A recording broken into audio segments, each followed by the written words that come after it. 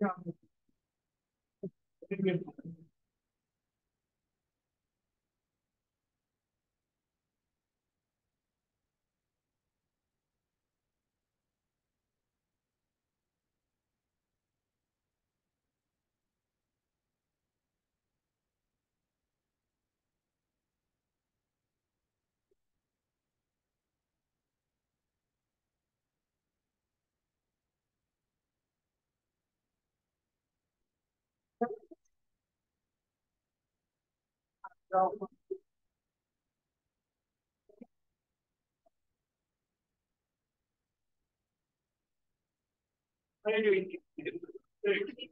Watch it all time, yeah.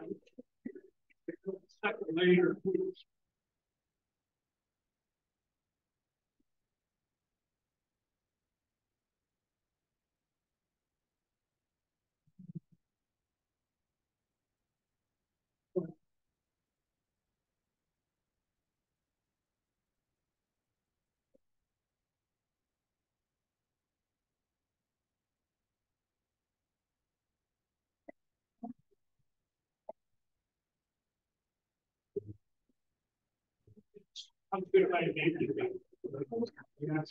Oh, you can go, okay, you can leave. You.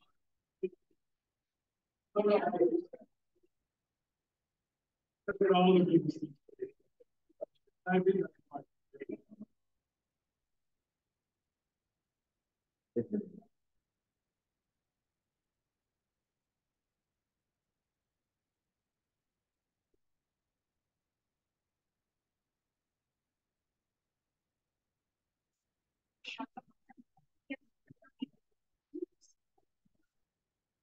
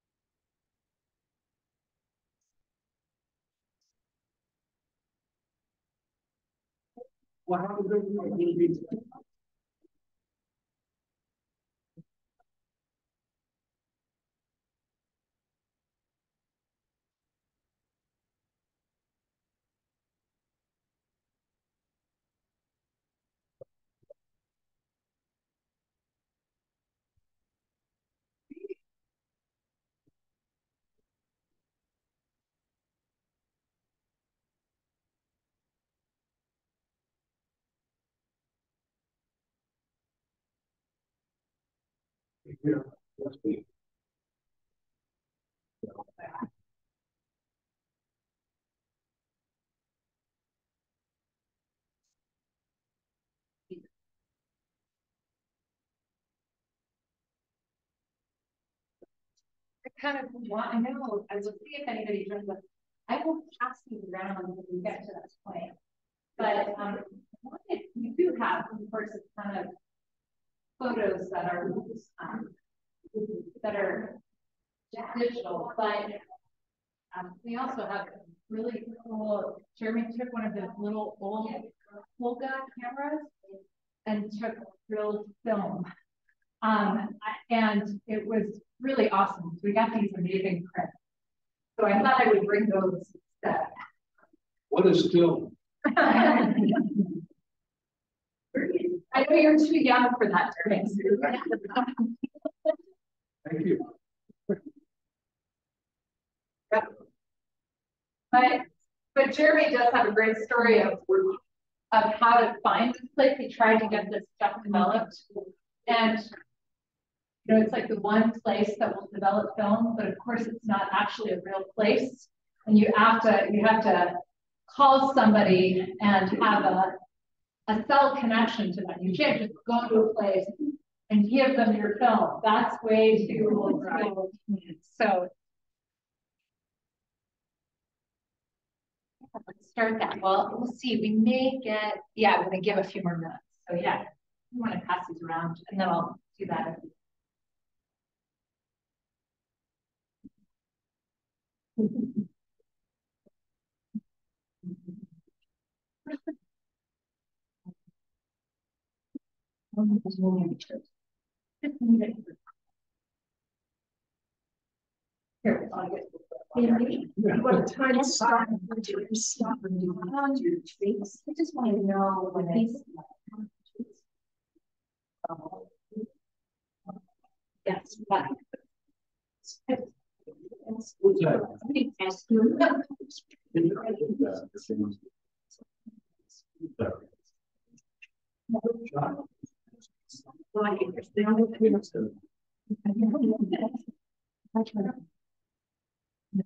Oh, that's fine. His knees were somewhere.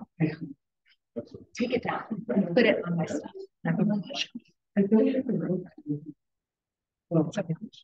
Yeah. Thank you. No, this is. Yeah.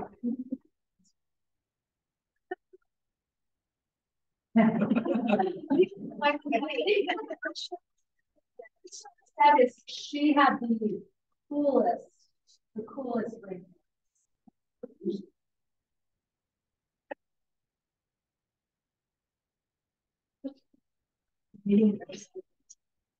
All right, we'll see.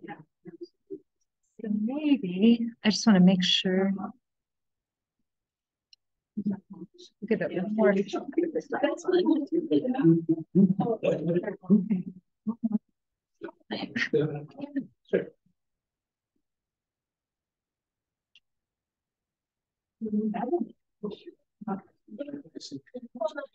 Yeah. I have a question. Yeah. Before you start. Yeah. Um, based on a question from these guys, is the annual meeting going to be I failed, okay, on I, Zoom? yeah, Only okay? I really failed this morning not to make that announcement. So I'm making it here, just imagine that we're like still in the sanctuary right now, okay? The annual meeting is going to be only via Zoom at twelve thirty on the fifth of February. Only via Zoom. Oh, we are not gonna do a public then. We are gonna find a different time to do a public. Good. Okay, the reason I asked was because that's what it seemed to me on the Friday news. And these guys are doing treats at their church on February fifth, Okay, so they can still do that. they can still do that, and that would be great. Um, and most people, if they wanna get home, they, they have plenty of time to get home by twelve thirty. Um, and yeah, just to know, there was a great date. Yeah, I am. It's being recorded. I don't know if anybody's joining us now.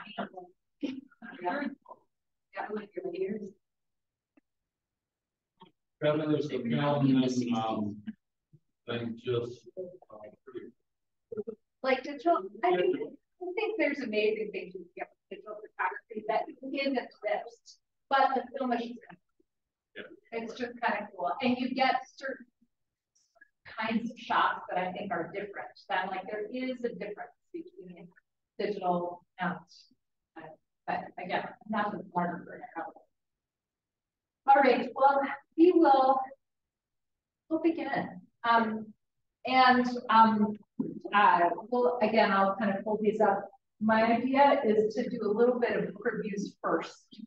Uh, and then a little bit of talking about Alaska, so we can, we can pull these out again.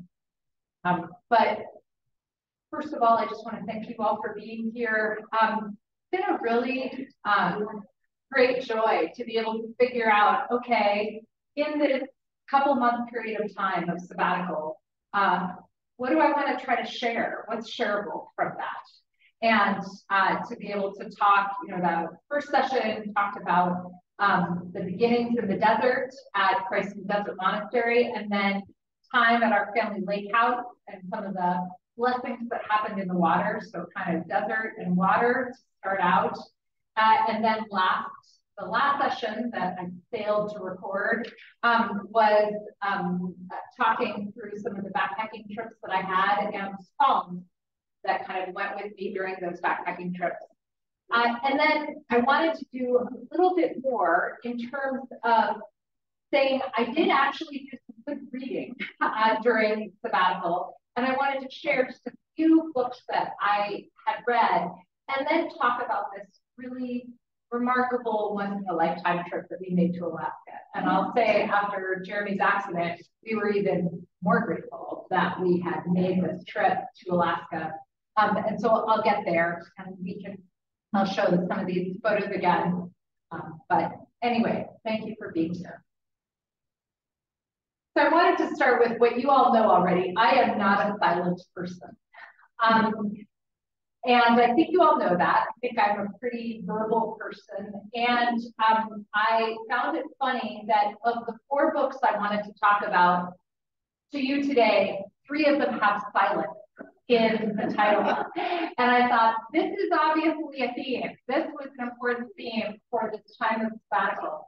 Um, and uh, all four of the books addressed uh, silence in various ways.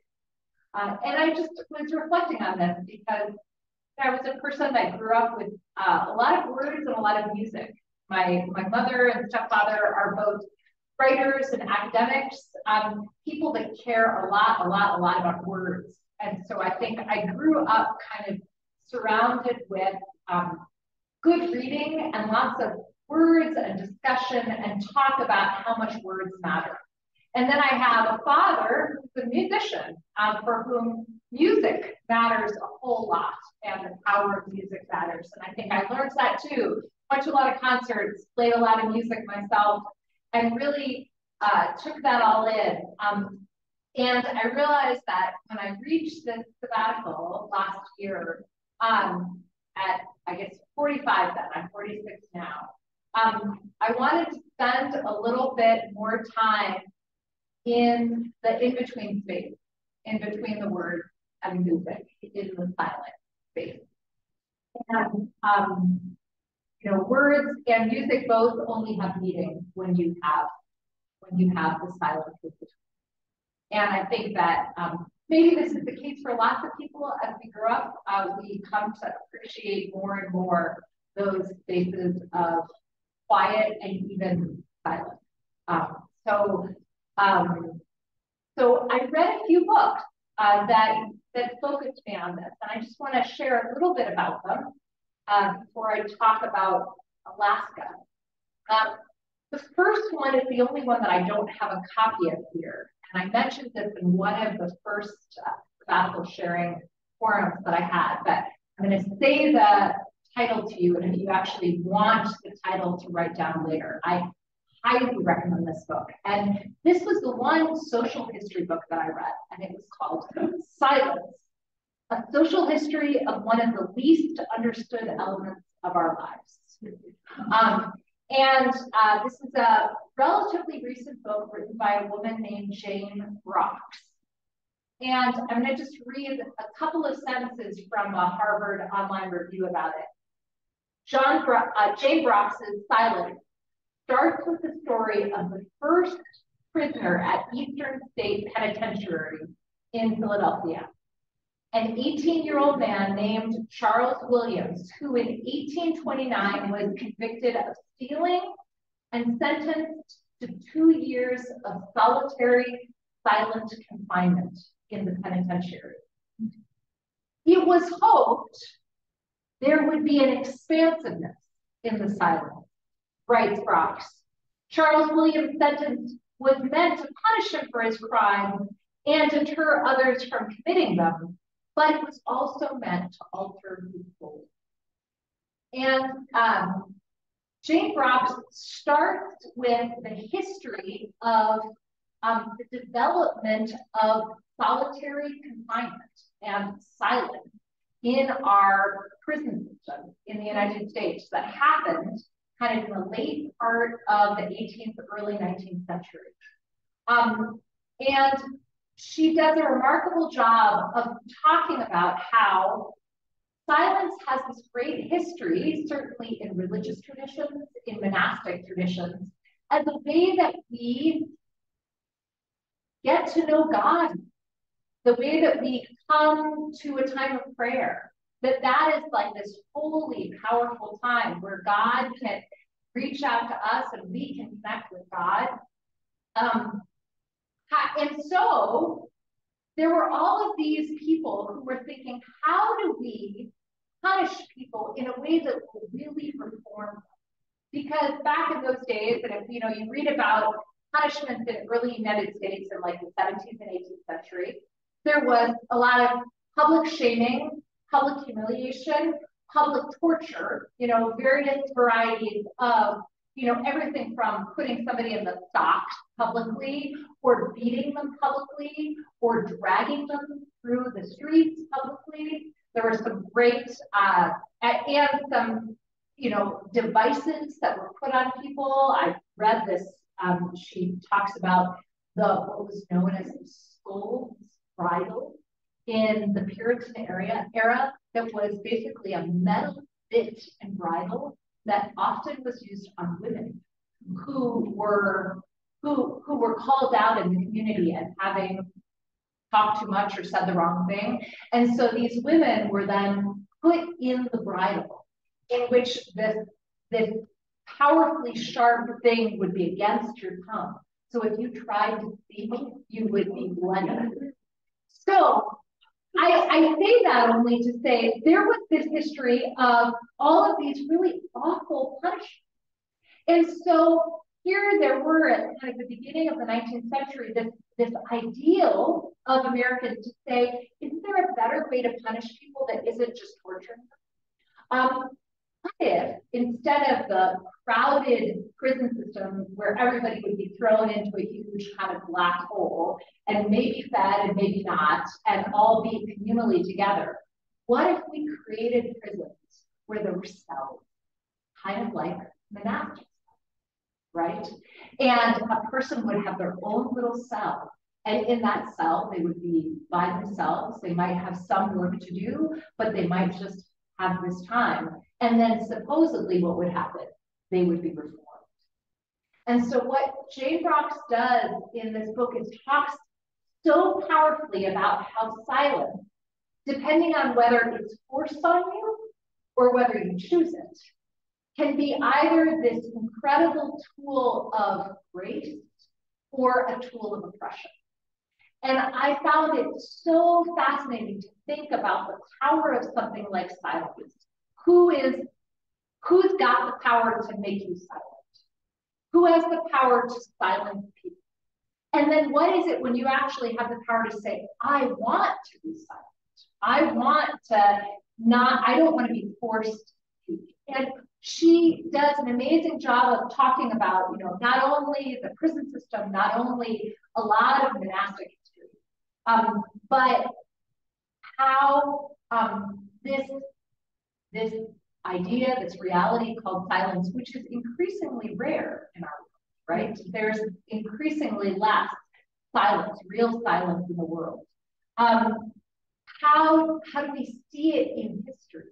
as both this incredible gift and this incredibly kind of oppressive tool of cruelty. I mean, of course, certainly some people that were put in solitary confinement were kind of went crazy, right? Because they were put in solitary confinement they didn't hear another noise for, for a long time.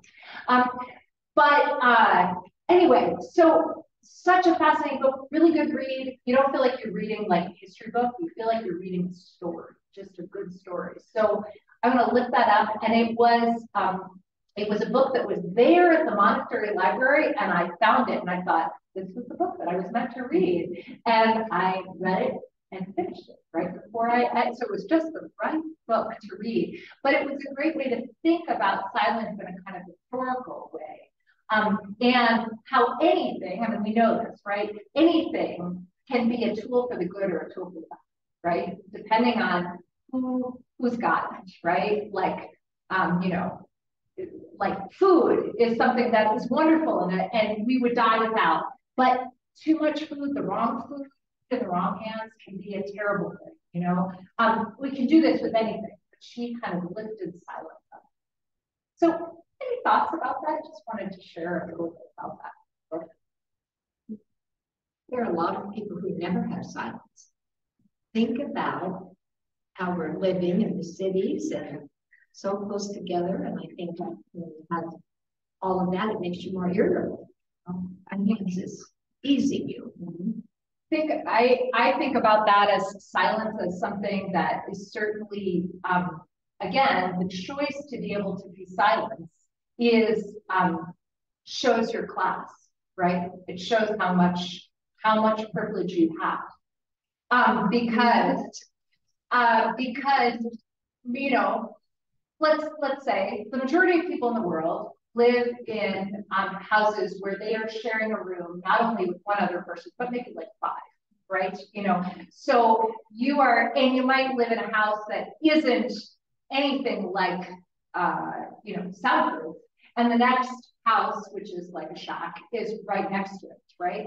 So you're living in this incredible, um, world of people where you have no control over private space and you have no control over silence at all.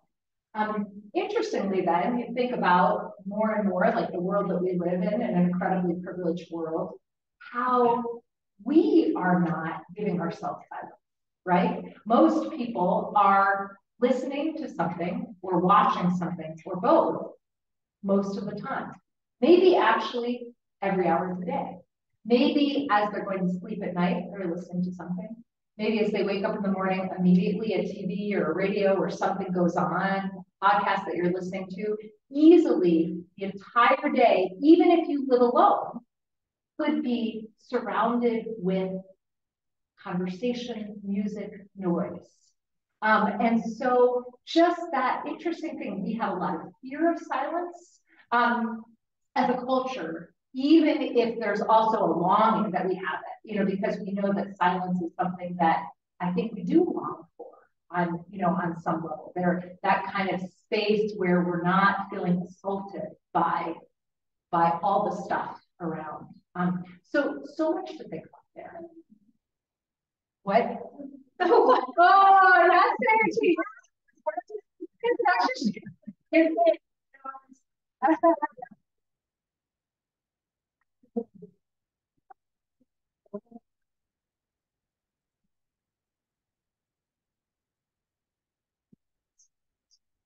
thing. To me, I don't know, I don't consider music to be other than silence. Other than. Yeah. Well, it is interesting. I mean, it, I've talked about this with a lot, like in worship, right? Um, there's precious little silence even in worship, but you know, we try sometimes for a few seconds here and there, you know, for for a, a kind of sense of space. And at certain times of the year, we might try for more, like a few more seconds. Um, and you're right, that might be the only silence. That not just the teenagers are left, all the adults in the room, everybody, everybody lives in a world that is surrounded by possibility for um, and so it is a question, and I'm not trying to kind of be moralistic about this other. I just think it's interesting. Like, what is it? What is it about silence? What is our relationship with silence? Um, and when has silence been chosen for us and it has not been good? And when have we chosen silence and it has been very good? You know, um, I mean, there's there could be a lot of different, and um, this is certainly a question of gender. I mean, and, and a question of um, again, all the different levels of privilege in the world, like who gets to speak, who gets to speak first, who doesn't get to. Um, so uh, it's real complicated, but interesting stuff. Um, okay, I'm gonna move on. Um, so, yeah, yeah, Bill. No, in, in a particular trouble when my life. Pastor had been told me that the only way that you can get through hard times is to spend time by yourself alone. And That's a quiet time. So you really, the only time that you can figure out how to get out is to figure out who you are, what you're capable of. And he was a big proponent of silence and quiet, going somewhere where there was nothing. Take books and read, but just reflect on everything around you. And it was amazing when you do that, all the stuff you thought was troublesome because now you're on your own. You have to figure this out. And when you're there, the solutions come to you. They, they just seem to come to you. I mean, it's not an easy path, but works. When last night at our dinner table, we. Oh, No, go ahead, yeah, you go ahead. Um, a long, long, long time ago, a relative of mine, um, who was a Quaker, had a Quaker funeral. And they opened with a statement, and then the men sat there and sat here, and nobody said a word for an hour and a half, and then they got up and left. Was like, but Heidi's brother-in-law is a Quaker too, in the current day, and, you know, the, the silence is, mm-hmm. is the integral part of that culture and communion. And it's, it's interesting. It's, it can feel very vulnerable. Silence can feel very. I- I'm from a Quaker background, background, and I don't speak at all upstairs on Sunday morning, you know that. I'm not going that. Oh, you do. Not everybody does, but I'm very quiet and it's amazing, even with music. I can tune it out. It's like, um, it's to me, the ultimate peace is to come here and I get to choose what I listen to. I can choose the music, I can choose, um, all of that, but I, it's so spiritual to me to be completely quiet here. I, it's, it's, it's who I am. And I was out skiing yesterday in the backcountry, and the only, other than a few people around me, but the only noise I heard, it was perfectly quiet, so, and the crunch of the snow. That's it. It's, it's such a privilege to be able to choose silence. And I, I, you know, church brings up a whole other thing. What is the difference when you're keeping silence communally? As, as opposed to keeping it private, right? Um, and that, that is certainly a deep part of the monastic tradition, that even though there was a lot of time that um, monks or sisters spent by themselves, they were also almost always part of a community as well.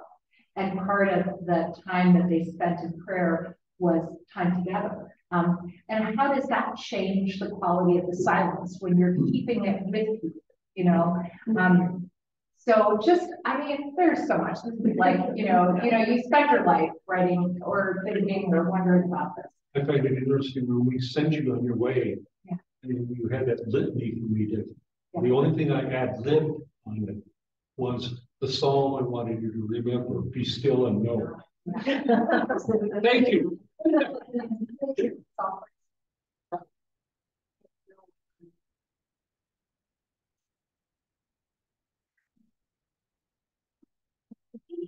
I don't think that's possible. Then somebody said to me, "You can leave anytime." You know, that I don't have to be there the whole time, that I had the control over it. But initially I thought, I think my brain would talk first if I had to be in a silent retreat. And having the choice was huge. choice. That's, and I hear this too, you know, I was, I, I feel like this is, you know, I come to this, I said this in the beginning, right? I'm not a naturally silent person, you know, I'm not, this isn't like, I'm not a natural contemplative, right? I'm not somebody that just goes and, but I find this kind of draw right now, this draw, this call to spend more time so that if I'm going out skiing alone, I want to make sure that I'm just going out and skiing alone and I'm not trying to listen to something else. And I'm not trying to, I'm, I just want to be there. I don't know if I could I could have done that as well 20 years ago, you know? So what is that? We all have our own life stories about what, what is it that we need at certain points of time or that we want to explore? Because yeah, if you had told me, I had friends that were like practicing, practicing Buddhists who would go on silent retreat for days and days. And my thought was like, oh my gosh, I would, what would I do? I want to talk, you know? Um, but um, so it's fascinating to hear that. And you get to choose. If you've got an out, does that allow you to go in, right? Because you know there's a door.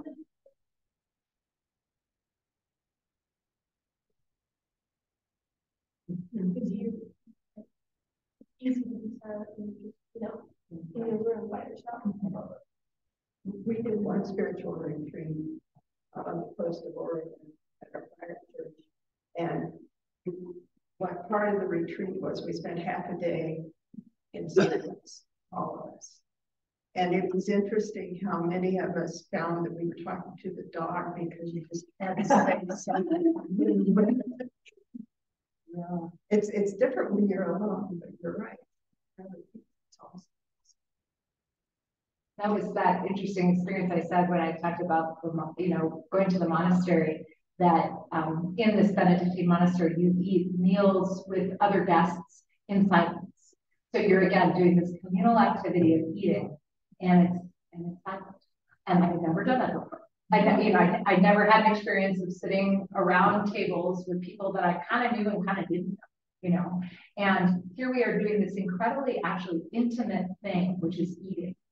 It's kind of intimate, you know, you're, um, because all you're hearing is people eating, right? so it's Um, Yeah, it's like a, um.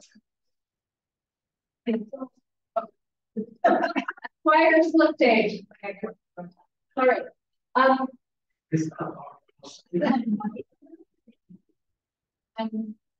The other, this, one, so this one does not have violence in the title, but, um, really an amazing collection, The Desert Fathers and Mothers, Early Christian Wisdom Things, annotated and explained. There is a collection, a complete collection of what we have that are usually just little bits and pieces, little like phrases, maybe tiny little stories from what are known as the Desert Fathers and Mothers, the Abbas and the Ammas, who were fourth and fifth century hermits and monastic communities that developed in the desert. Um, and they, you know, this, this kind of started happening maybe in the third century. People started going off into the desert. You've probably heard some stories of, of crazy people. They went and lived up on, you know, on desert towers and like had food brought to them. Um, and but but even though people often went out to go by themselves, communities formed. And um, there was a deep desire in this going out into the desert to, to know God more deeply and to strip away all that was extra, strip away all that is essential, get to the essential. Um, and so I just thought I would read just a couple of these quotations. Um, and then I just really want to encourage. This is just a small compendium, but she does a great job of annotating and talking about these phrases. So she kind of had a conversation with these, these uh, desert fathers and mothers, or you could get the big fat book of all the all the desert fathers and mothers that we have. Um, one, um, a brother came to Sked to visit Abba Moses and asked him for a word. Give me a word. And the old man said to him, Go sit in your cell, and your cell will teach you everything.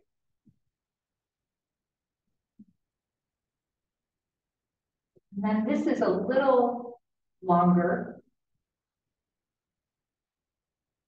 A brother in Sked committed a fault. A council was called to which Abba Moses was invited, but he refused to go to it. Then the priest sent someone to say to him, Come, for everyone is waiting for you. So he got up and went. He took a leaking jug, filled it with water, and carried it with him.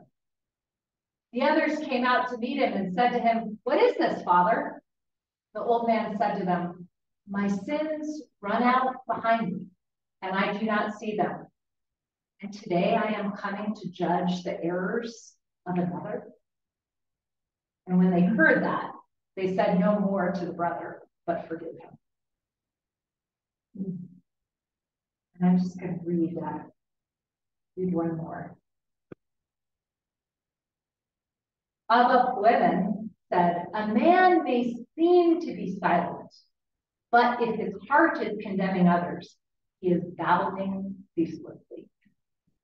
But there may be another who talks from morning till night, and yet he is truly silent. That is, he says nothing that is not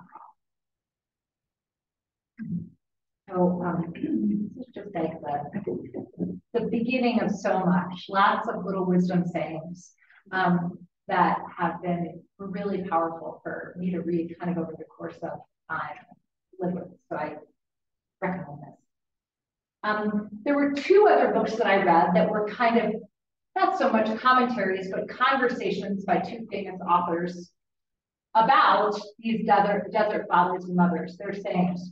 One of them is by Rowan Williams, who is the former uh, Archbishop of Canterbury.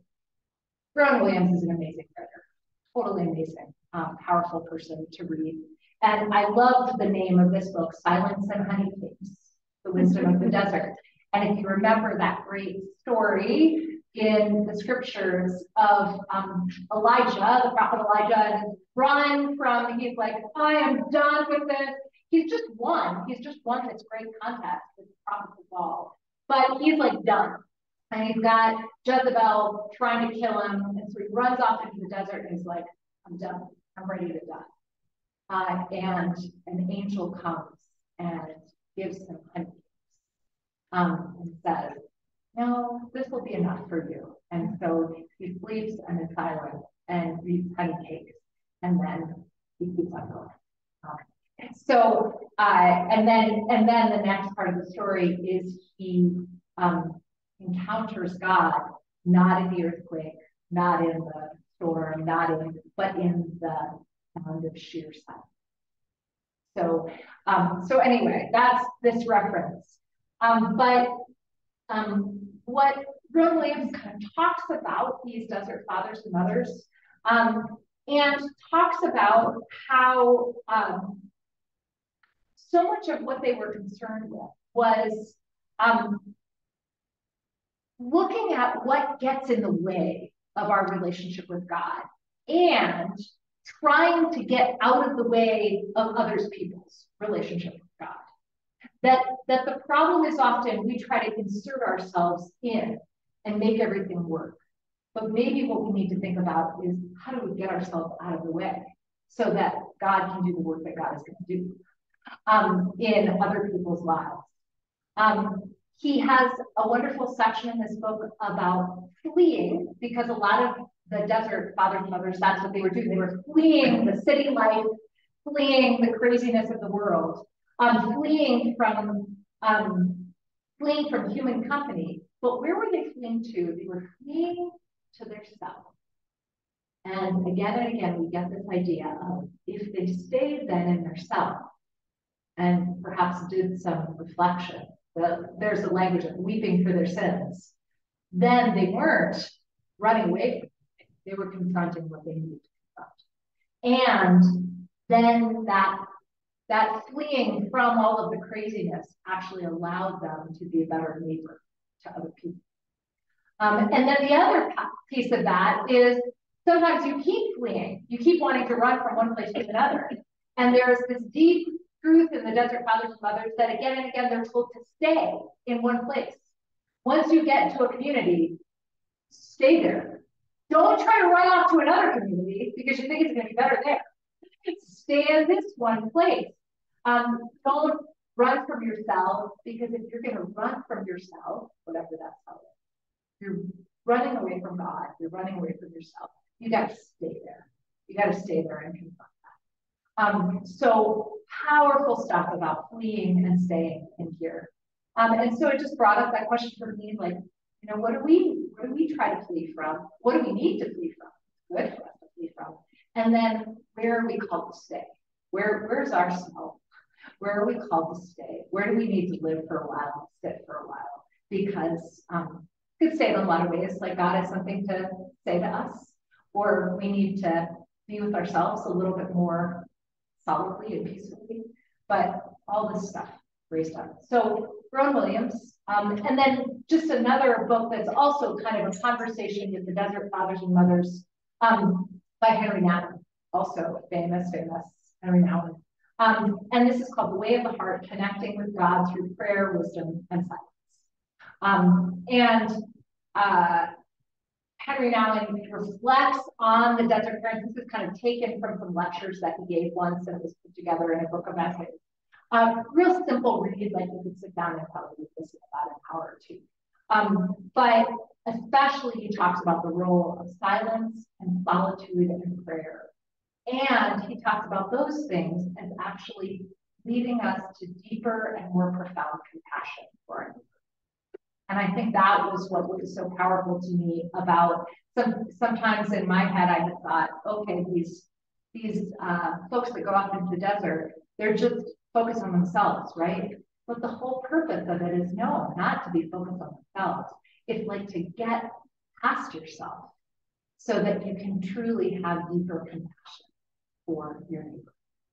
Um, so really powerful stuff, some good books that I read. Any any thoughts on that?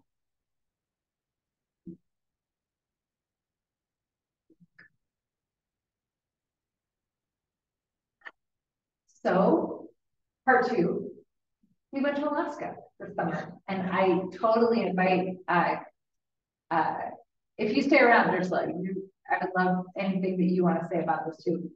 Um, so we had the opportunity to visit our friend Ursula's godmother, Chrissy. Um, this is my them. Um, many of you have had an opportunity to meet Chrissy Post. She's been here, she stayed with us for periods of time since we came to the sky.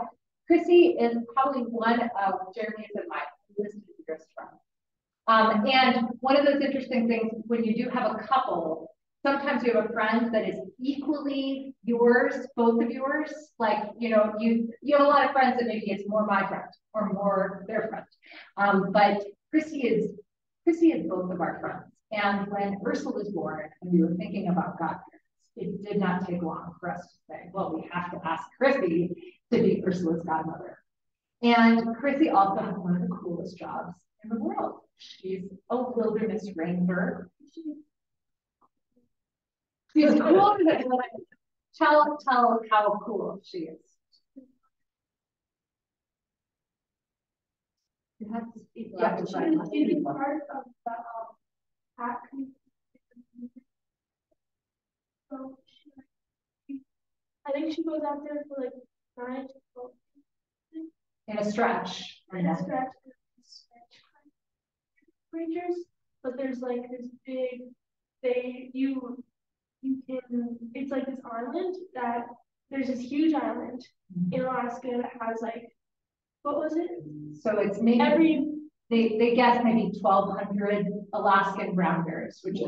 I think it was like a every per mile, like Yeah. per square mile, there's one bear. Yeah. Um, but there's a family of bears that come into the Pack Creek for like so many years, and so like there's generations of like kids and stuff, and so they like have names for all of them, and um there's like new cubs every once in a while, and um but she goes there and they they do like research.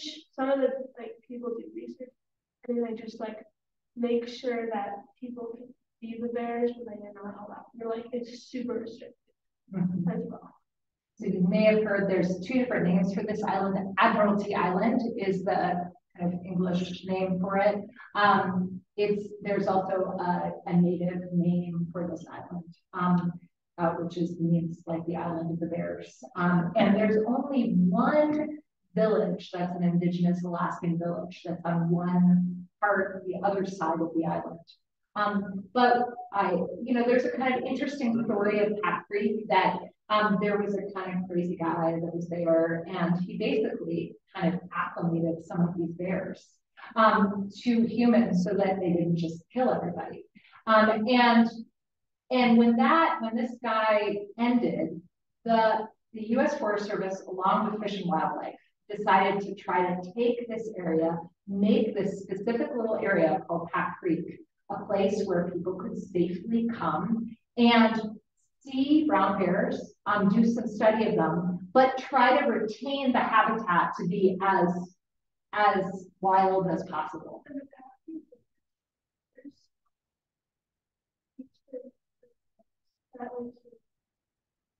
So, um, like there's like this. We get really, you like, you know how they do.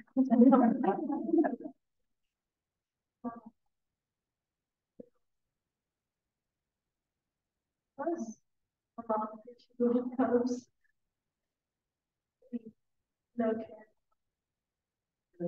Um, I, you know, I will say this, though, I, I am not like a huge, I'm not a biologist, I'm not even really much of an animal person, I'm not, you know, um, but I tell you, this was, even I was kind of blown away by this experience of, um, you know, of what it means to go to Pack Creek. And part of the experience that we had was, you know, as any of you that have traveled in Alaska know, it's really hard to travel in Alaska without a valley um, because there's so many logistics in Alaska. to get anywhere because there's no roads, especially in Southeast Alaska. um, you have to fly somewhere. And so really Chrissy was our erstwhile guide. Um, and she, she set all the parameters. So, there's more used to it. yeah, there's a lot of rules. Um, and you know, part of what we learned when we first got there, um, we, we flew in and out of Juneau, um, and we had the only way to get to Admiralty Island, um, and we were staying in a island that's about, you know, a 25 minute kayak ride from Admiralty Island. And on this much smaller island, just maybe like a, a couple miles by half a mile, um, is where the Forest Service and Fish and Wildlife have a kind of full-time summer camp set up that they base out of. Very cool camp um, in the rainforest. And on the other end of that island is an area that if you get there, you can camp yourself. And so we were going to take a float plane into this island, and Christy was going to help outfit us so that when we got there, we had all the tents and we had all the stuff that we needed to. Because of course, when you're taking a float plane, you can only take so much stuff, right? You have to a certain number of pounds they take. Um, well, of course, first we got there, and you know, rain was on the forecast for like the next week, you know, because it rains most of the time in the rainforest. Um, and uh, so we had a full day of kind of waiting and seeing if we were going to be able to fly. We knew we weren't going to fly the first day. Um, and then the next day there was a window. There was just a window of break in the cloud cover. And we were able to get on this crazy float plane and um, take the, you know, just maybe 45 minutes it took to fly from Juneau to this island and land on the water and then come into the beach and we left there and find, thankfully, that there were there were kayaks there for us to take and there was some stuff there and we brought a lot of food.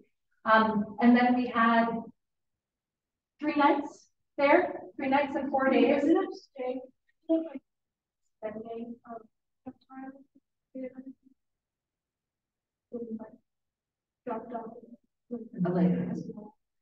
Did you have cell service or how did you extend your? We had to set it up at that at that time. So when we when we were originally booked out, because no, there was no cell service. There's no, I mean, you are out there. Now we had, you know, we had the friend who was our ranger friend, and you know, she had radio service. But that is the only way that they can they can radio and out. That's a that's a sure connection. Um, and so you get dropped and you are out there. Um, and, you know, and again, the idea is three days from now, somebody's going to come and pick you up. Maybe. Um, or maybe it's raining really hard and they can't come, you know, so it's, it's a really interesting, you're definitely out there in a way. Um, and so the best way to travel in Alaska on these islands when the rain, rainforest is so crazy is um, is to kayak. So we did some wonderful kayaking, you know, um, back and forth to Admiralty Island. We got to spend a few days uh, visiting the bears and again seeing seeing the mama bears. Um, they were the salmon were running, and so uh, the bears would come up the the streams and um, and be feeding on salmon, and we could watch them and watch the cubs play together. Uh, and it was, that was pretty cool. So how, how is the silence? How was the silence? there's maybe a little less silence when there's, when, when you're with your family. Uh, but, but there was, yeah.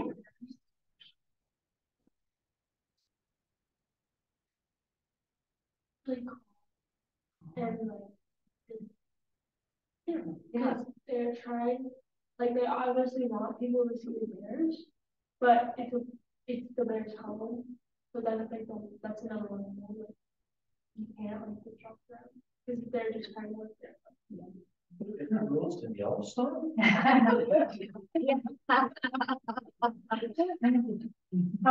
with the bear? What kind of communication did you see the bears having? We saw the most sisters who, um, there, there's a couple different families. One of them is like all named after coffees. Yes. There's like Mocha and Joe. So and there's Chino. Um, but then it's another family. There's. There's two, I think there were like maybe two, three year olds. Yeah, so like two or three year olds. Two year olds, two sisters who played together. But did they talk? I mean, how did they communicate Yeah. amongst themselves? I think we heard, we definitely heard them like kind of snuffling and making different, but you, you saw them a lot kind of wrestling with each other. Like it was really watching, watching kids play and wrestle with each other. And like, They were just like little kids. they were like little kids Like, and they, like, like, so she, when, when, those were the times you went, the tide was out. And when the tide goes out on that, especially if this one time, it goes out like hundreds of yards. So like they have, the bears all like all this space to play. So they just run up and down the and up and down into the, in the water and then then sometimes you get to see them catch up. I think because we were with Chrissy and we got to know some of the other rangers and the wildlife folks that were there, um, we really learned, and it's very clear, all of these bears have very individual personalities. You know, they all have personalities, they all have a kind of fit in the larger family system. Um, and there's some of them that are, are just, you know, kind of dorky, and some that are kind of just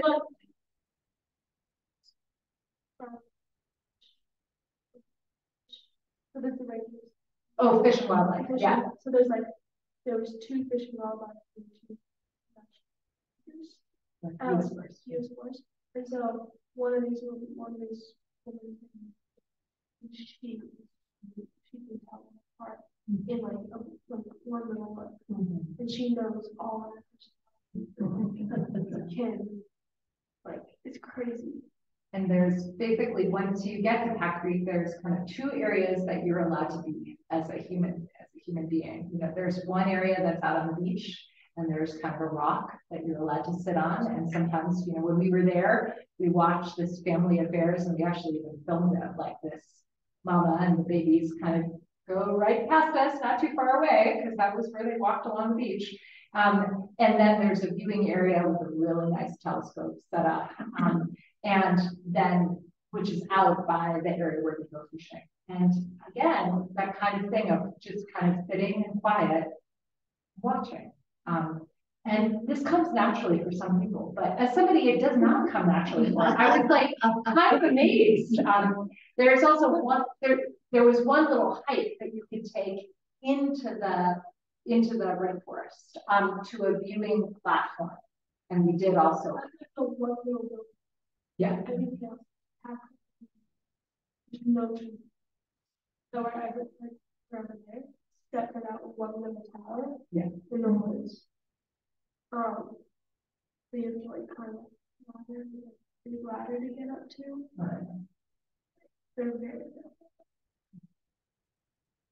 Um, yeah, so, you know, experience of things like, like tides. This was this big rock on our beach that one of our kids is climbing on right now. Um, when the tide was high, that rock would be covered. Um, the tide's been twenty-five feet, which I didn't understand was twenty-five feet vertically. so the like, oh, that's what that means. So you had to make sure, you know, in the night, nothing could go out for so far out. And then everything was pulled in, as would happen like twice a day. And so everything is also always watching the tides. Always. Oh, don't. know. Hundreds of starfish. Oh, how those- That was so cool. I love that. Like, that was like one little, you know, like square foot or something, that was like. the- It was like. Five to, I don't know, five, three or five starfish every square foot. Wow, that's great. So lots of really cool, and we saw some cool, just little wildlife, like, um, kind of mink ermine type animals running around. There was one that had, oh, that's the cool thing, you should say that. Oh gosh, somebody's gonna remember this. It's that, it's that evanescent light. It's the thing that, Joe, spot, Phosphorescence. Yeah. So.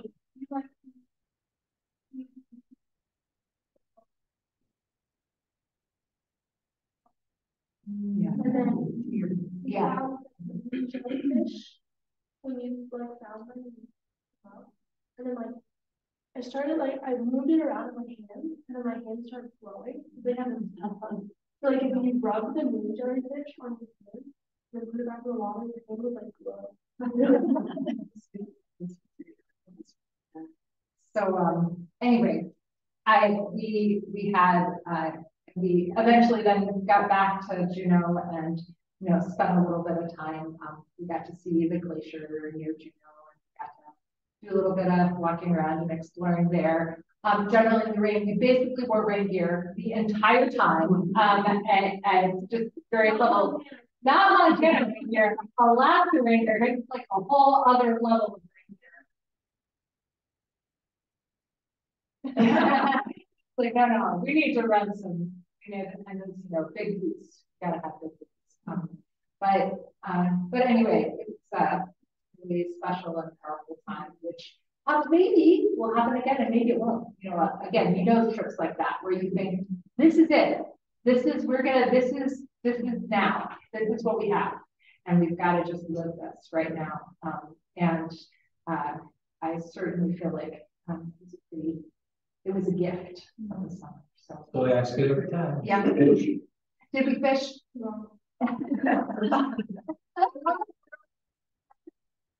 Not a fisher. If you feel like, Cooler. we have a guy here, we'd be happy to see your pictures of people. People.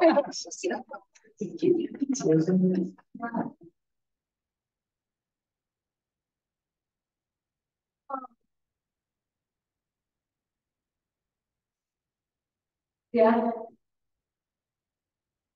Yes. That's. Yeah. That. Instead of catch and release, he just caught it and then made a little fire. That's why we don't fish.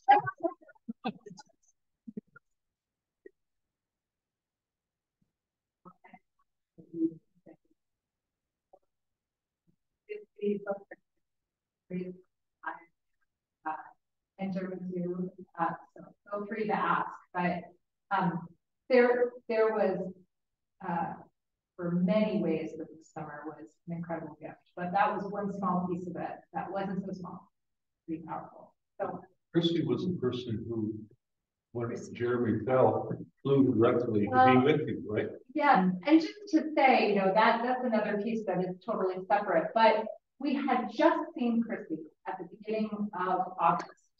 Um, Ursula had, had just seen her again, you know, it had been a while since we'd seen her and spent time with her. But when, um, Jeremy had his accident and I was out of commission in terms of being out in the wilderness, didn't know. And Ursula was the one who was calling everybody and trying to tell them what had happened. She called Chrissy. And it was like, okay, I'm looking at right now, because Chrissy said, well, you know, Ursula told her that she had grandparents that were coming. And Chrissy said, well, who's with Jeremy? And Ursula said, I don't know. And she said, oh, I'm gonna get on a plane in two hours and go to Billings. And I will say that, um, Chrissy then was with me the entire time that Jeremy was in ICU and she stayed with me in Billings and just waited to see until it was okay for me. And I, I cannot, I can only, like, I only start crying when I talk to her and talk about this because what would have been such an awful time was a really beautiful time that she was with me, you know, and I, you know what this is like when you actually have a friend who can walk through those really terrible times with you. Um, it makes all the difference in the world. And, you know, maybe that wouldn't have happened if we hadn't made this trip. You know, may, maybe it would have, But it was really helped by the fact that she was right there with us. So we'll forever be grateful to Christy and probably she'll come and visit us. So. I'll let you guys go. Thank you so much.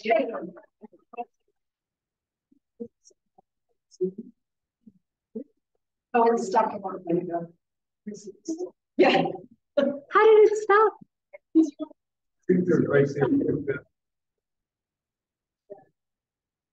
weird. It was going. Let's see what.